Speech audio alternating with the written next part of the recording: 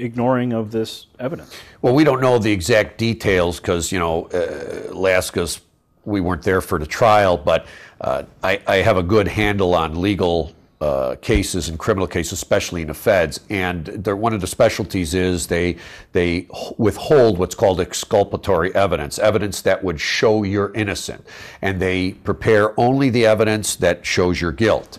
No, I don't know the exact details, but it probably wasn't just one recording. They probably recorded them several times.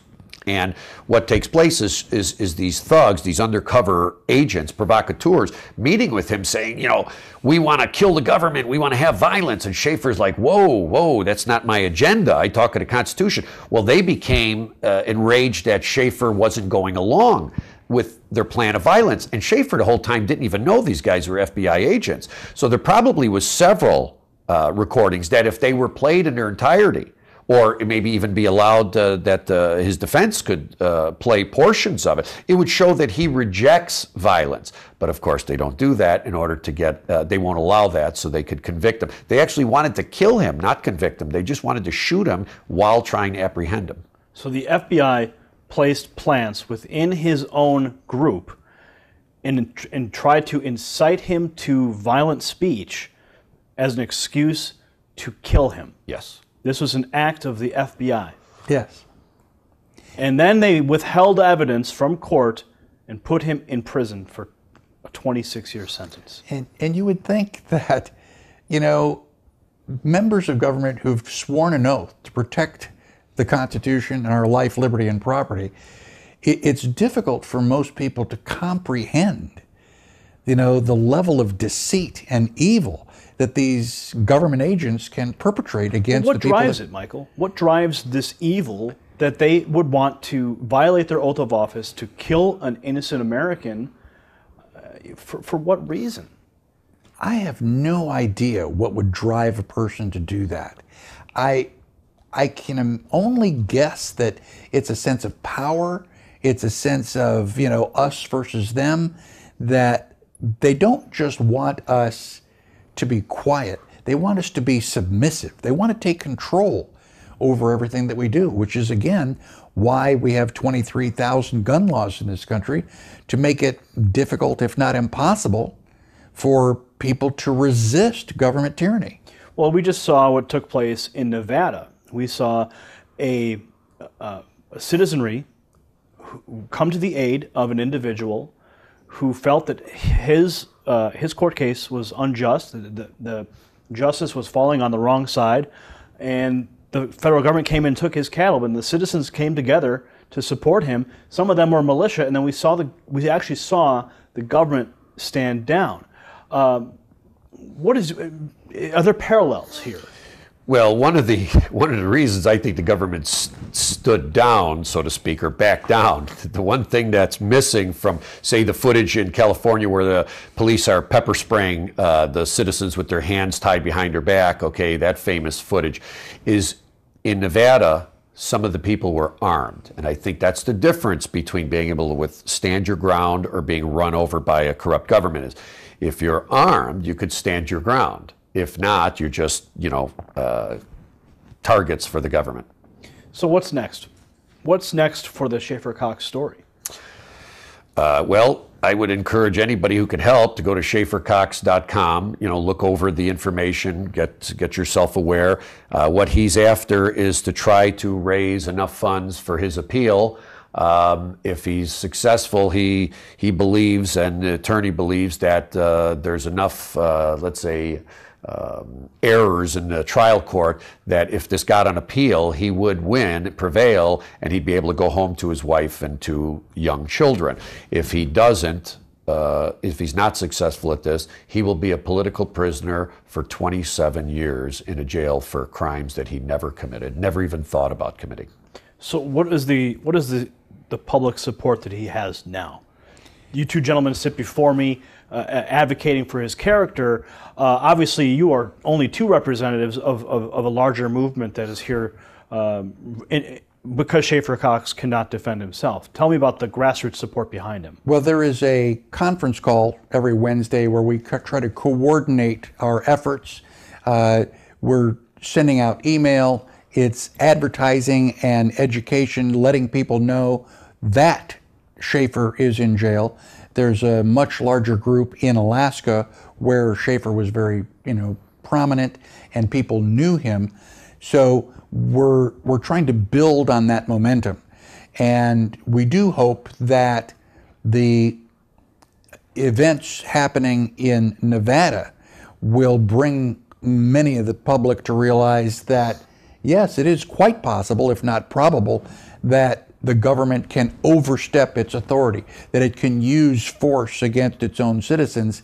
And if they see that to be true on television, then it lends some credibility to the fact that maybe this good looking young man from Alaska really was set up.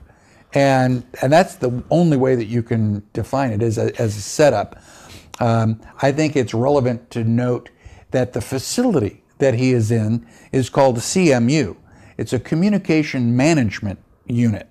And it's a place for domestic terrorists, and they very definitely control the information coming in or, you know, going out of the, the prison. So, from my point of view, the government is still afraid of the truth that Schaeffer has and his ability to motivate people with that truth. And so, in addition to physically being in jail, they are also doing everything they can to curtail his communication in and out of prison. So, what is what, what's the ultimate outcome? Obviously, we, we want to see a trial overturned. We want to see him go back. Um, but how do we get to that point? Well, we're trying to raise awareness now. From the feedback I got from trying to spread the word at this time is that uh, nobody knew what was happening. They didn't know this was going on with Schaeffer. They didn't know what happened with his case or anything. So uh, right now, the word, the, the most important thing is to get the word out about that he's a political prisoner right now, and then get everybody over to the website, uh, uh, get them involved, uh, maybe to be a public outcry, uh, especially raise the funds so that an appeal can be done. And then once that happens, we hope the outcome will be he will be allowed to uh, be free and go to, back to his wife and two children. Otherwise, he'll be condemned to be a political prisoner for 27 years you know, it, one of the, the reason why they targeted him, he was touching on the two points that Dr. Edwin Vieira talks about that any sovereign state must, must have for free people the power of the purse and the power of the sword. He knew that and he spoke clearly about that. The power of the sword means the people have to be in control of the guns, the, the authority, uh, the physical authority. And the power of the purse, gold and silver. Gold and silver is the money of the people. Paper money, Federal Reserve notes, is the money of big government. It's always in control of them, always out of our control. He was speaking on those two, and those are the most damaging because if we, the people, regain the power of the purse and the power of the sword, then we will have freedom. And that's what a tyrannical government never wants us to have.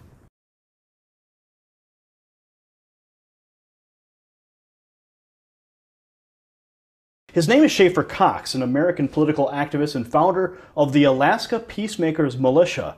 In 2011, the 26 year old Schaeffer was arrested allegedly for involvement in a plot to kill and kidnap state troopers and local judges.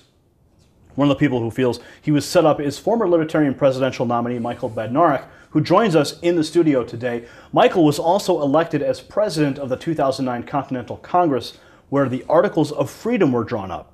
The Articles of Freedom are a list of grievances and solutions delivered to Congress by the American people. Joining Michael is Rick Wose, who was the honorary Illinois delegate at the 2009 Continental Congress. Their connection to Schaeffer is through the Continental Congress, where Schaeffer had a very distinctive voice. They're here today to talk about his plight and how they believe he has been set up by the government. Gentlemen, welcome to the program. Thank you for having us. So, Schaeffer Cox, you met him at the Continental Congress. And what was your first impression of him while you were there? And tell us a little bit about the Congress.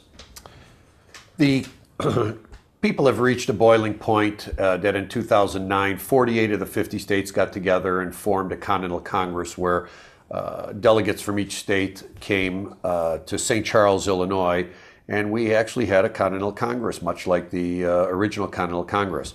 Uh, there, We uh, eventually, after 11 days, deliberated on various issues and came up with the Articles of Freedom. That's where we met Schaeffer Cox, who was the uh, delegate from Alaska. And what, what was it? Tell us a little bit more about the Articles of Freedom, Michael. The Articles of Freedom are the result of our 11 day conference. A lot of people are upset with the government. They're complaining about a lot of different things.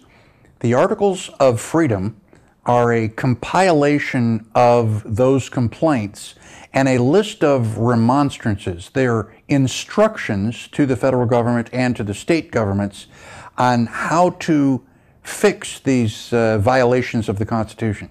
What were some of the violations that were, were pointed out?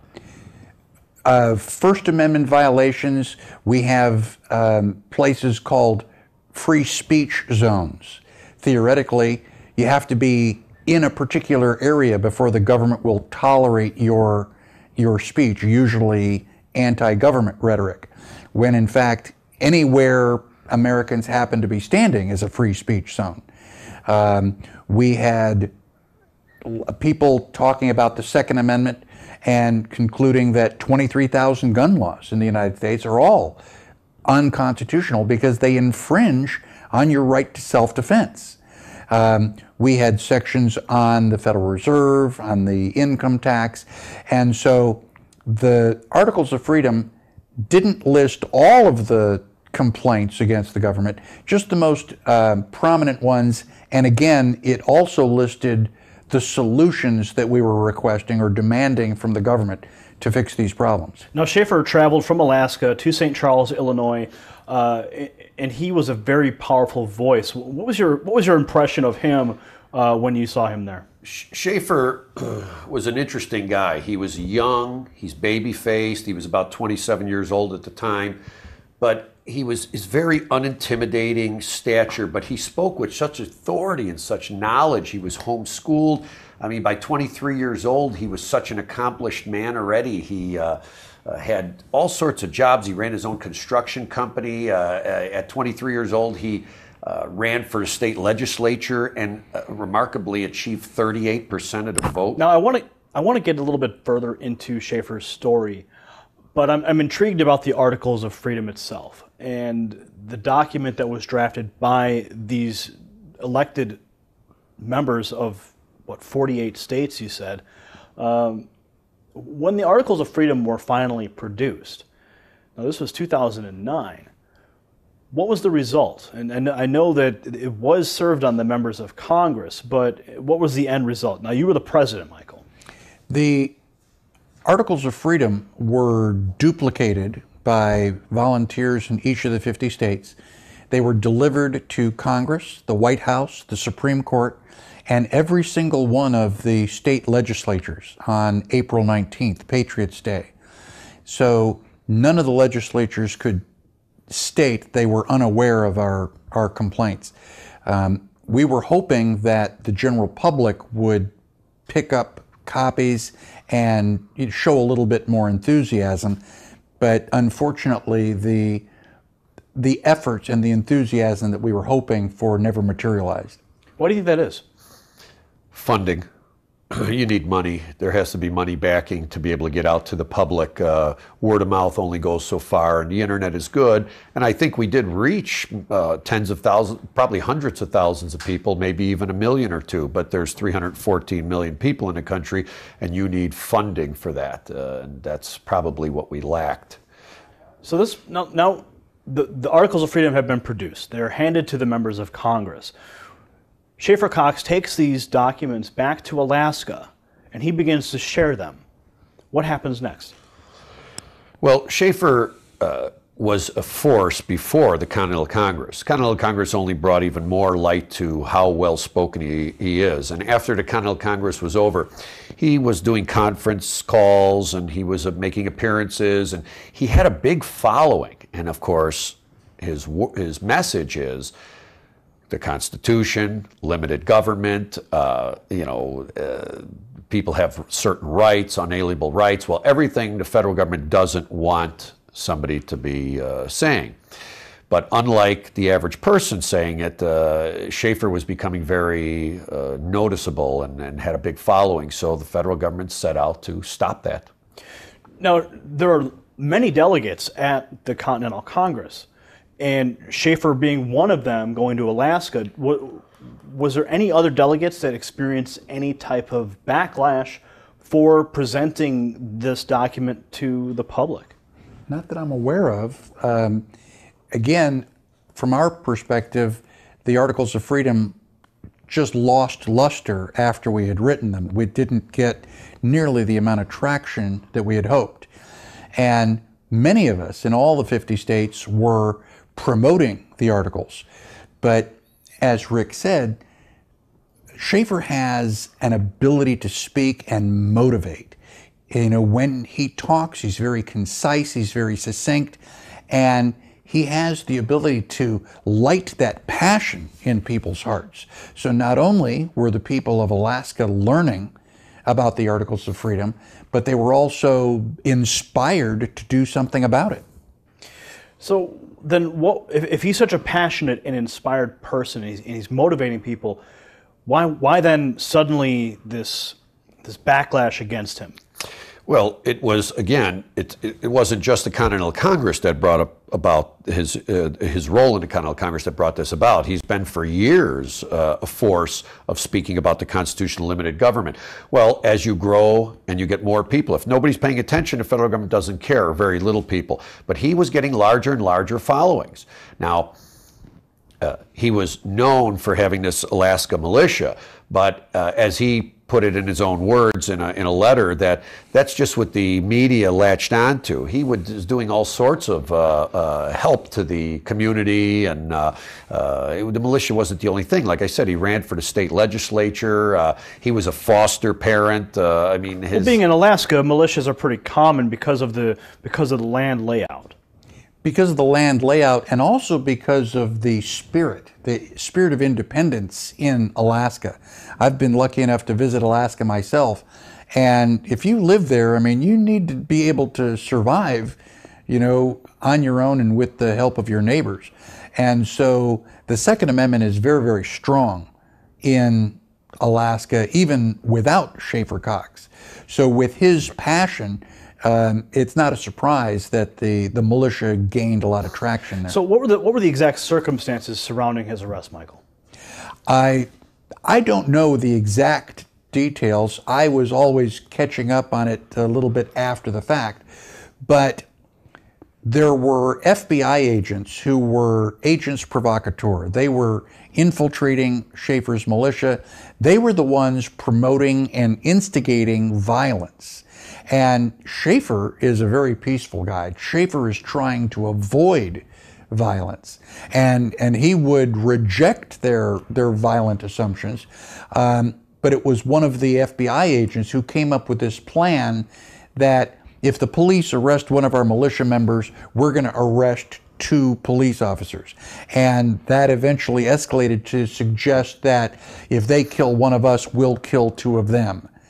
And the FBI created this artificial, this imaginary plan 241, which alleged that, you know, Schaeffer was in charge of promoting violence against the government. Was there ever any moment uh, of, of direct conflict no, not violent conflict. When they set out to get him, uh, they use things like the mafia would do. They use things against you. Well, he's married. He had a, a little baby. They knew he loved his his wife and his child. So the feds uh, created a uh, false allegation that he was uh, mistreating his child. Whoever heard of the federal government reporting about to the children's services that uh, there's some abuse going on? That's all local concern, uh, but that was part of the feds' plot. Well, then the Children's Services got some sort of no knock warrant uh, that they were going to serve with a SWAT team authorizing violence is unheard of. Whenever, whenever you have a report of child abuse in this state or any state, first thing is they ring your doorbell and come and interview you and see, which they would have found no abuse. But for some reason, some force was working behind the scenes that he didn't understand, and it was the feds. So, what brings you here today? What is the mission you hope to accomplish today in regards to Schaeffer Cox and his story because he's he is currently in an Illinois federal prison. Yeah, Schaeffer was eventually railroaded. Well, maybe we could get more into detail of that, but just to cut to the chase, he's he was railroaded into false charges uh, in a federal court, sentenced to like 26 years or something, and he's currently in a like a high security prison in Marion, Illinois, uh, away from his wife and two kids. And if we if he doesn't raise enough money for his appeal um, he is going to end up sitting there for 27 years, and he has an excellent chance on appeal of getting this overturned because, from what I understand about the trial, it was a kangaroo trial. So you, you say he was railroaded. Can you provide some more details into that? One of the um, agents for the FBI was admitting that at this point in time, Schaeffer had not done anything illegal. There was nothing that they could possibly arrest him for but they were hoping to use the love of his children against him. And the FBI agent admitted in a recording that if we try to kidnap Schaeffer's son, that Schaeffer would probably resist, and that would give us, the FBI, the excuse we need to shoot and kill him. And once we've killed him, the Schaeffer Cox problem goes away. Now, that recording was never allowed at the trial. So clearly, if the jury had heard that recording, it would it would demonstrate in very clear terms that the FBI was attempting to fabricate evidence or create a situation to give them the justification they wanted to, to kill Schaeffer. And what many people don't know is that as Schaeffer became more and more aware of this FBI scheme, he was trying to leave Alaska. He, he was going to avoid the situation. He was going to, uh, I'm told he was going to bring his wife and children to the lower 48 states and, and just basically run and hide from the FBI. And the undercover FBI agent stole the battery out of his car so that Schaeffer was immobile, could not leave town, and gave Schaeffer, uh, told Schaeffer a lie, told Schaeffer that there was a truck driver who was willing to smuggle his family out of the you know, out of Alaska, and that this truck driver was you know going to be arriving very very soon, and it was it caused enough of a delay so the FBI was finally able to arrest Schaeffer in Alaska. So this tape recording that was never allowed into court, who's responsible for the for the the ignoring of this evidence? Well, we don't know the exact details because you know uh, Alaska's we weren't there for the trial, but uh, I, I, have a good handle on legal uh, cases and criminal cases, especially in the feds. And one of the specialties is they they withhold what's called exculpatory evidence, evidence that would show you're innocent, and they prepare only the evidence that shows your guilt. No, I don't know the exact details, but it probably wasn't just one recording. They probably recorded them several times and what takes place is, is, is, these thugs, these undercover agents, provocateurs, meeting with him saying, you know, we want to kill the government, we want to have violence. And Schaeffer's like, whoa, whoa, that's not my agenda. I talk of the Constitution. Well, they became uh, enraged that Schaeffer wasn't going along with their plan of violence. And Schaeffer the whole time didn't even know these guys were FBI agents. So there probably was several uh, recordings that if they were played in their entirety, or maybe even be allowed uh, that uh, his defense could uh, play portions of it. It would show that he rejects violence. But of course, they don't do that in order to get, uh, they won't allow that so they could convict him. They actually wanted to kill him, not convict him. They just wanted to shoot him while trying to apprehend him. So the FBI placed plants within his own group and, and tried to incite him to violent speech as an excuse to kill him. Yes. This was an act of the FBI. Yes. And then they withheld evidence from court and put him in prison for a 26 year sentence. And, and you would think that, you know, members of government who've sworn an oath to protect the Constitution and our life, liberty, and property, it, it's difficult for most people to comprehend you know, the level of deceit and evil that these government agents can perpetrate against what the people. drives that- it, Michael? What drives this evil that they would want to violate their oath of office to kill an innocent American? Uh, for, for what reason? I have no idea what would drive a person to do that. I I can only guess that it's a sense of power. It's a sense of you know us versus them. That they don't just want us to be quiet. They want us to be submissive. They want to take control over everything that we do, which is again why we have 23,000 gun laws in this country to make it difficult, if not impossible, for people to resist government tyranny. Trying to raise money here for uh, an appeal. Who is this representation and who's represented him thus far? Well, right now, Schaeffer has a court appointed attorney, a woman from Seattle who is blatantly anti Second Amendment and who has demonstrated over and over again that she does not want information that would be beneficial to Schaeffer's situation to be admitted into uh, evidence. So she is actually working against Schaeffer's best interests. We have another attorney who was there and is very eager to help, but we have some legal stumbling block, blocks right now that we're trying to get the coin apported attorney removed and uh, another attorney uh, substituted. So, what, what's, what, what are those stumbling blo- blocks? Schaeffer has written a motion to the court uh, trying to allow himself to go pro se, meaning to to handle his trial without any attorney at all. Um, and I think that's kind of a, a a maneuver. If he can become pro se, that would eliminate the court-appointed attorney, and then later he would be able to add uh, the attorney of his choice. Are they, are they allowing him to represent himself? Well, from what uh, Schaeffer has on his website, uh, he's able now finally to do some letters or communications, and they posted on his website. Uh, he says mostly that he has a he has a good attorney, a very good attorney. That uh, if certain amount of funds could be paid to him, he will take the appeal and probably prevail. Uh, I do not know his court appointed attorney, but I have experience with public defenders and court appointed attorneys, and almost unanimously, 100%, they don't know the law, don't care about the law, they just want a plea bargain. They're angry if you go to trial, they don't conduct trials very well. Um, their, their, their, their caseload is they're overloaded they don't have time to put in on your case so there's no way he had competent counsel at trial there's no way he did How, old, mean- are, how old are his children?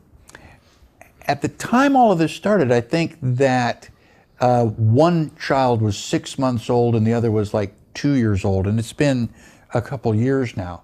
So, but they are still, you know, just approaching school age. Yeah, and it's amazing how his poor wife and two children, he was a great provider, hard worker. He actually had uh, a little bit of wealth. All that has been wiped from him. Property's been taken, everything. He's been devastated. His wife and children are left out in the cold now. He's in he's in prison. He's in literally like a secret prison, uh, far from where his wife and children could even visit him. It's it's what they're doing to him is just uh, it's typical of what you would see maybe in like uh, the old gulags in Russia or uh, you know in Nazi Germany, but it's not something that should be going on in the United States. Well, Michael, as president of the Continental Congress 2009, uh, you got to witness Schaeffer firsthand and his character.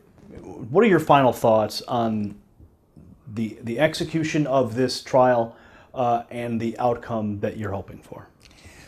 When I first met Schaeffer in St. Charles, I was really impressed with his ability to articulate the ideas. You know, a lot of people can talk, but it's hard for them to be concise. Schaeffer was really excellent, and he was also very gentle. And I, I consider him a, a really good friend, even in the short period of time that we worked together. The first time I heard that Schaeffer had been arrested for threatening the police, I disavowed that. I don't believe that it happened. That's just not in his character. And I'm hoping to make a short pilgrimage down to southern Illinois to actually visit with Schaeffer face to face. And, you know, hopefully people will be able to go to his website and write letters. If nothing else, it would, you know, provide moral support for somebody who's standing up for our freedom and is now paying the penalty, you know, perpetrated by an evil government.